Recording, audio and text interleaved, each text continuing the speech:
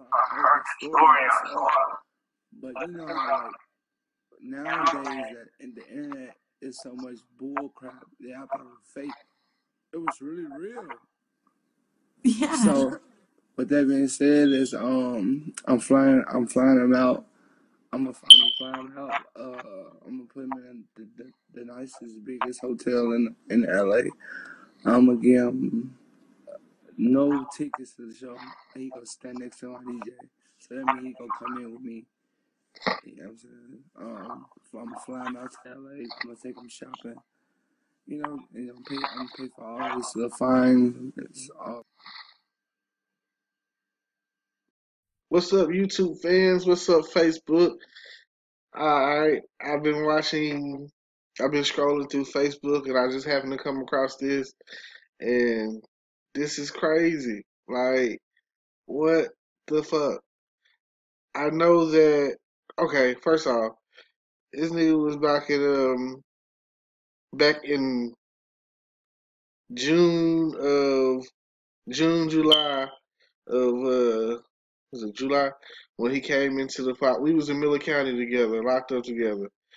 Alright, dude come in there. You could tell, you could look at the picture and tell your guy is off.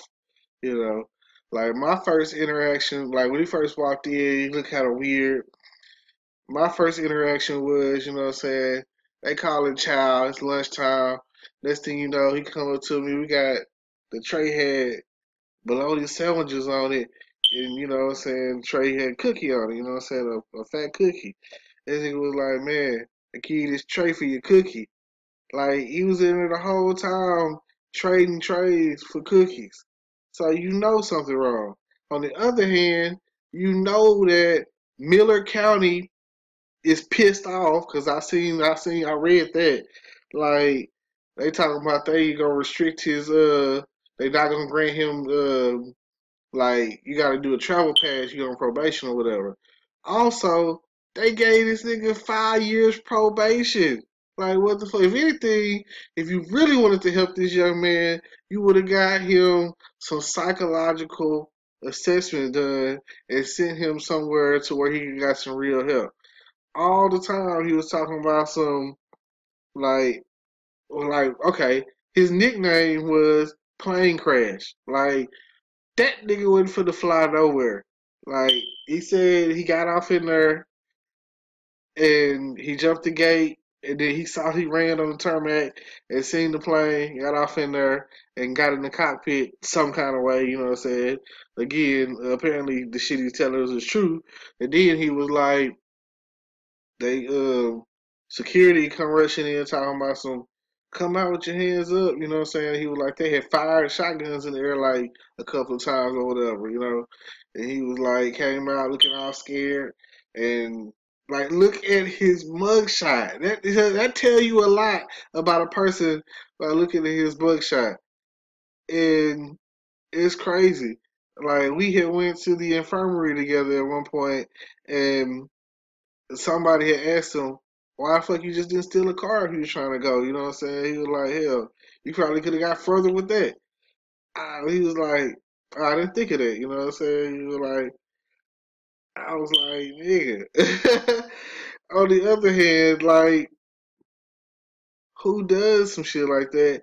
And then when the rapper Famous Dex finds out about it, he talking about paying this young man fees.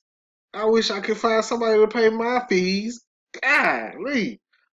Like, then he talking about going to uh, flying him out to a concert in LA. Like, Oh, well, for one, I don't know how that nigga gonna fly. He definitely not gonna fly out of Texarkana. So somebody finna be flying about a Shreveport or Dallas or Little Rock or some shit like that. But I just can't believe that this is happening in our city.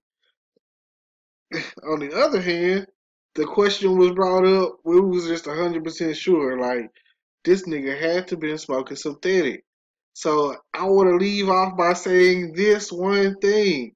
Leave that K2, that synthetic, that synthetic weed, that shit that's frying y'all motherfucking brains. Leave all these fucking drugs alone. You know what I'm saying? Like, when you was younger, you signed off in probably like fifth grade saying dare, dare to be fucking different. Like leave these drugs alone. Look at what they doing to this young man. Like, oh my fucking god. look at this nigga.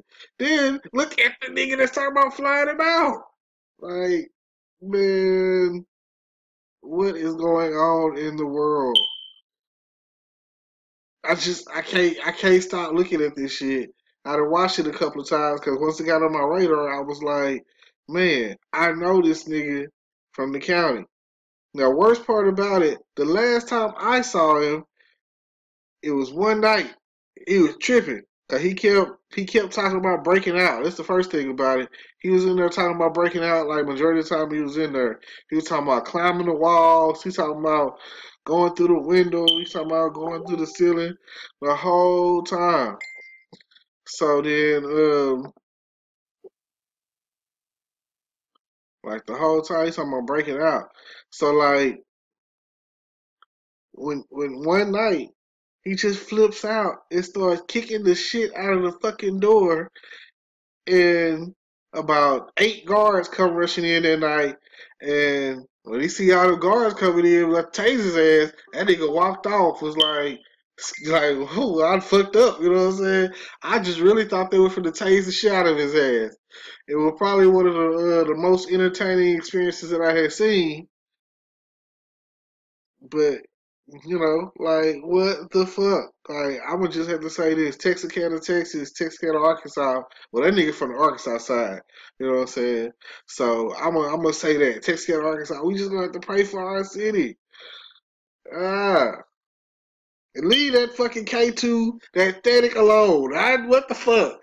Stay away from the airport. I don't I don't know, man. Shit. Goddamn plane crash. story I saw. But you know how like nowadays that in the internet is so much bull crap that I thought was fake. It was really real. Yeah. But that being said, is um I'm flying I'm flying him out. I'm a, I'm flying him out. Uh, I'm gonna put him in the, the, the nicest, biggest hotel in in LA. I'm gonna give him no tickets to the show. He gonna stand next to my DJ. So that means he gonna come in with me. You know what I'm saying? Um, I'm flying out to LA. I'm gonna take him shopping. You know, and I'm pay. I'm gonna pay for all this the fine. It's all. Feel just like a rock star.